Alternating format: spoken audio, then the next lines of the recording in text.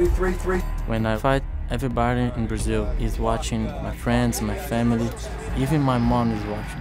Everybody saw when I got that, that big punch for Nazareth. I have flashbacks of my fight against Rick Hall. I thought, no way, not again. I drop him with my right hand, go to the ground, lock the position, the fight's over. Victory for Ricardo Tirloni! I'm able to show the real Ricardo Tirloni. I know Dave Jansen wants the belt, but I want more. This is my dream. This put my name in the history. When I wake up in the morning, when I go bed at night, think about one this tournament, think about one this fight, he's in my way. Now looking for the rear naked oh, choke, deep, and there's the tap!